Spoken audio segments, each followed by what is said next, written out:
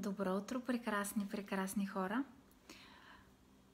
Мисля, че беше много важно да отговоря на един въпрос, който ми зададе Даниела Йорданова след вчерашното ни лайфче, вчера сутринта. Осъзнах, че м- тази тема е нужно още малко повече да обърне внимание на нея. Та, Даниела Йорданова след вчерашния лайф долу в коментарите ме попита а, мога ли да уволня работника, който системно не е изпълнявал своите служебни ангажименти. Тогава аз разбрах, че а, разбира се, имам работа с човек, който е много силен емпат. Говоря за Даниела Йорданова, момичето, което ми е задало този въпрос. Човек, който до такава степен се притеснява да не нарани другия, да не направи някаква грешка, да не ощети другия, че той дори, дори поставя под съмнение своето решение да се раздели с работник, който системно, както тя се е изразила, не изпълнява своите ангажименти. Всъщност, това ми напомни нещо изключително важно. Подобното привлича подобно. Или по-точно, хората, които сме в тази група, хората, които се намираме и се събираме заедно, вие много приличате на мен до голяма степен. Вие сте хора, които сте силни емпати, вие сте хора, които сте силно търсещи а, справедливостта, силно внимаващи да не сбъркат някъде, да не вземат несправедливо и неправдиво решение, хора, които много внимават да бъдат добри, мили внимателни към абсолютно всички останали, независимо как останалите се отнасят към тях. Аз много благодаря на Даниела за това, че ми напомни какви сте вие, защото а, света, в който живеем, наистина хората, които, а, с които много често общуваме, по никакъв начин не са точно като нас. Но аз не мога да дам отговор и това не бива дори да се опитвам да давам отговор на това дали Даниела трябва да се раздели с човек, който системно не изпълнява задълженията си, този не е служител. Но това, което мога да направя, това, което бих искала да направя, е малко да поразсъждавам по темата.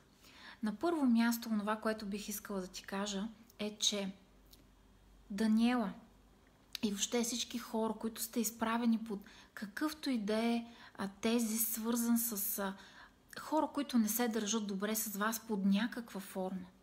Този човек, този твой служител, той е направил своят избор. Той е направил избор да не изпълнява и то системно, както ти се изразяваш, своите служебни ангажименти и задължения. Той е направил своят избор. Той го е направил многократно. Сега е време ти самата да направиш твоят избор, дали да оставиш този човек да продължи да се възползва от теб или да го освободиш и да го оставиш да намери той за себе си онова, което хармонира на него. Обикновено такива хора, които системно не изпълняват служебните си ангажименти, намират работодатели, които имат друг подход към тях. Работодатели, които са безкрайно строги, безкрайно изискващи, безкрайно стъпили на врата на човека, защото те всъщност точно това привличат и точно това заслужават. Но ми се иска още малко да поразсъждавам по темата. Тук е мястото да ти кажа една много силна мисъл на учителя, Петър Дънов, която аз безкрайно много харесвам и която дълго време не можех да разбера и да схвана. Той казва така. Трябва да се научите къде да давате. Как, къде и кога да давате. Някъде всичко, някъде нищо. Това е една много важна тема за добрите хора, за хората, които са силни емпати, за хората, които са силно чувствителни и силно търсещи справедливост, правда и истинност. Хора, прекрасни, трябва да се научиш къде, кога и как да даваш. Някъде всичко, някъде нищо. Някъде всичко, някъде раздай цялата си същност. Някъде просто не пускай нищо добро да излезе от теб, защото да бъдеш добър, да бъдеш щедър, да бъдеш деликатен, да бъдеш възпитан, да бъдеш раздаващ се. Това не е равносилно. Това не поставя знак за равенство с това да бъдеш използван и хората да се възползват от теб. Аз като човек, който съм всичко това, за което си говорихме до момента, много пъти съм се сблъсквал с нетолерантността на хората към мен. Точно защото на хора като нас ние излъчваме доброта, на нас ни личи за какво става въпрос. И много често хората, които влизат в полето ни, това са хора, които идват единствено и само за да вземат още и още и още и още и още и да вземат още и още и още. И колкото повече вземат, толкова повече те започват да изискват от нас. На мен лично ми отне време. И аз продължавам да се уча на този урок. Да се науча да давам някъде много, някъде по-малко, някъде спрямо всичко това, което имам на среща си. Разбира се, че се раздаваш до край, но когато става въпрос за едни взаимоотношения, като тези в случая с Даниела и нейния служител, едни взаимоотношения, които би трябвало да бъдат регламентирани под някаква форма. И когато човек системно се възползва, и когато човек системно не оценява това, което получава, той е взел своето решение. Той е взел своето решение, този човек, да, да не върши своята работа. В такъв случай ти също имаш право да вземеш твоето решение. Но помисли си само, вероятно имаш и други служители или хора, които ти помагат в това, което правиш. Помисли си само какъв пример даваш на останалите хора. Може би на хората, които изключително съвестно вършат своите ангажименти, изключително съвестно а, помагат и служат на това, което е твоята кауза, Даниел. Аз не знам каква точно е твоята кауза, но това няма никакво значение. Тук е въпрос на баланс, на чисто енергиен баланс, на това да не пускаме нещата да излязат от баланс. Какви сигнали даваш ти, когато държиш и продължаваш да задържаш един човек, който отново и отново системно не изпълнява своите ангажименти към останалите хора, към тези, които истински са верни на това, което правиш, които истински ги е грижа и ги вълнува това, което правиш. Така че да бъдеш добър не означава да не се разделяш с хората, които не са коректни към теб под една или друга форма. Много важна е тази хигиена, защото това са хората, с които ти общуваш ежедневно. Хигиената на хората, с които общуваш, хигиената на хората, с които работиш, хигиената на хората, които са много близки до твоя кръг. Хигиената на хората, това не те прави лош човек. Това, че избираш хората, с които да общуваш. Точно така, както избираш, все повече вярвам своите мисли и емоции. Точно така, както вярвам, избираш нещата, с които да се храниш.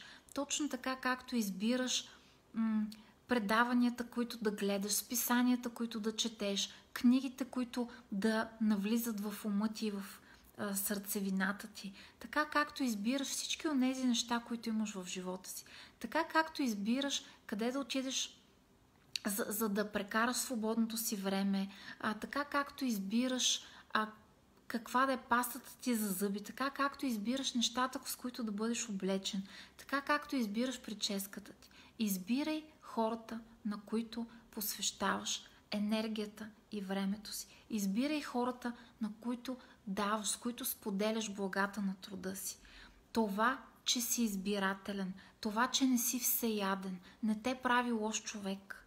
Защото много важният въпрос, който трябва да си зададеш е когато винаги искаш да бъдеш добър към другите, защото аз съм уверена, че това е твоя стремеж.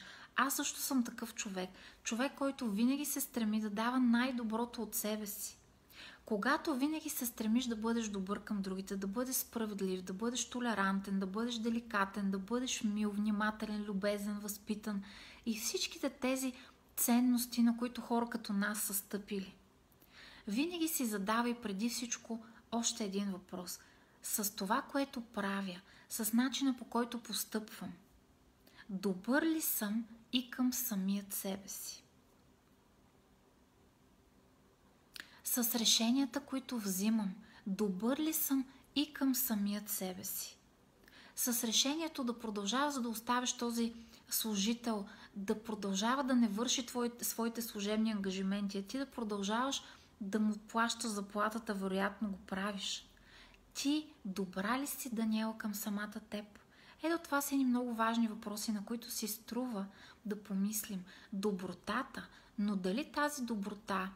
Защото много важно е, да, ти си добър човек, ти стъпваш на, на тези твои личностни качества, на този фундамент от личностни качества. Но дали човека, който е срещу теб, изповядва същата ценностна система? Дали човека, който седи срещу теб, има същите личностни качества, същия светоглед, същия начин по който възприема света? Дали той се раздава към теб по начина по който го правиш ти? Не, че тук трябва да търсим някаква, а, някакъв а, а, изкупителен баланс. Не, че тук трябва да гледаме кой колко е дал и кой колко не е дал. Но когато системно ти ощетяваш себе си, когато системно твоята доброта ощетява себе си, а в случая аз съм уверена, че тя ощетява и други хора. Това дали е доброта или е просто онова чувство на дълг, в което си възпитан. Че каквото и да се случва, ти си длъжен да правиш нещо за няколко. Не забравяй, никому не си длъжен. Ти си длъжен единствено на това да правиш нещата спрямо твоите разбирания към този момент, да си лягаш с чиста съвест, да не навреждаш на другите, да правиш така, че наистина да даваш най-доброто от себе си. Но когато това наврежда на самия теб, когато това подменя онова, което предстои, защото това, което работиш, вярвам, че е нещо, което е изключително важно за теб. Когато този човек очевидно не се вписва в нещата, които правиш, може би е време той да потърси на друго място своя път, а ти да потърсиш друг човек, който да ти помага в нещата, към които вървиш напред. Така че, прекрасни хора, да бъдеш добър не означава, че трябва да позволяваш на хората да те използват. Не означава, че трябва непременно и на всяка цена, дори с цената на това да ощетяваш себе си, семейството си. Да виждаш, че някой системно е некоректен, нетолерантен и неадекватен към това, което правиш към него. Не е нужно такива взаимоотношения да продължават, само защото ти трябва да бъдеш добър. Добър ли си и към самия теб? Спомни си преди време, имахме едно лайфче, където ти разказах една много хубава притча за змията и мадреца. Да бъдеш добър не означава да позволяваш на всеки всичко. А да се научиш да поставиш този много нежен и елегантен баланс, без обаче да промениш твоето добро, твоето добро отношение към света. Едно от нещата, с които най-много се гордея в моя живот, е това, че през каквито и трудности да съм минавала, а те са били безкрайно много, аз не се озлобих към хората и към света. Аз запазих доброто в себе си. Запази доброто в себе си, съхрани тази светлинка на доброта, която има в тебе. Много често хора като нас си мислят, че добротата е порок, че добротата не е, не е хубаво качество, защото в днешно време изглежда по този начин.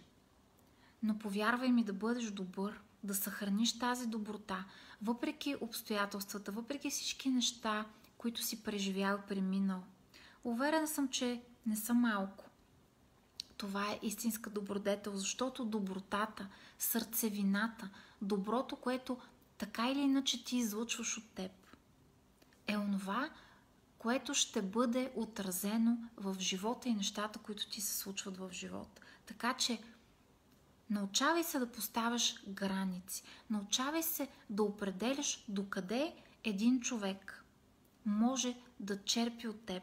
Това е окей. Okay. Когато имаш повече енергия, когато имаш повече от нещо, нормално е другите да, да имат нужда да черпят от теб, но трябва да можеш да поставиш ясни граници. Това е изключително важно. И докато поставяш тези ясни граници, прави го без да нарушаваш добротата вътре в теб. Съхранява я. Тя е едно от най-ценните неща, които имаш, въпреки че изглежда обратното на пръв поглед. Добротата в теб е нещо безкрайно ценно. Пази я. Тя е истинска светлинка, която ти помага във всяка крачка, която предприемаш напред. И дори само факта, че си задаваш такива въпроси като Даниела. Редно ли е да освободя свой служител, който системно не изпълнява своите ангажименти? Дори само факта, че си задаваш такива въпроси, означава, че доброто в тебе свети, блести и е съхранено. Струва си да продължаваш да пазиш добротата в себе си, но се научи, както е казал учителя, къде, как, колко да даваш. Запали сега светлинката в теб.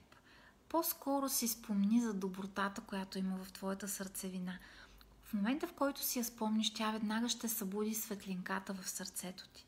Защото няма по-красиво нещо от доброто вътре, дълбоко в теб, в твоята сърцевина.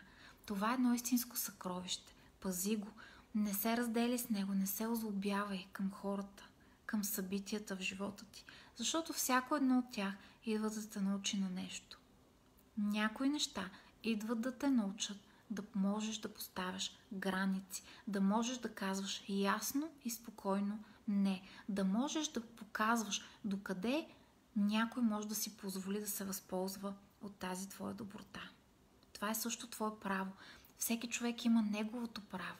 Този служител има правото да избира как точно да прави нещата си. Ти също имаш твоето право да взимаш решения, които касаят самия теб и още много други хора в нашия случай. Събуди светлинката в теб. Усмихни сърчицето си, усмихни лицето си, усмихни очите си. Да, още много пъти има пред нас, обаче толкова много прекрасни неща си сътворил вече в живота си. Помисли си за тях, за всички сбъднати мечти, за всички прекрасни неща, които си сътворил, за всички малки и големи крачки, които си направил. И ще усетиш, че деня, който предстои, е прекрасен, магичен, дъгичен и много меден. Вълшебен да е денят и до скоро!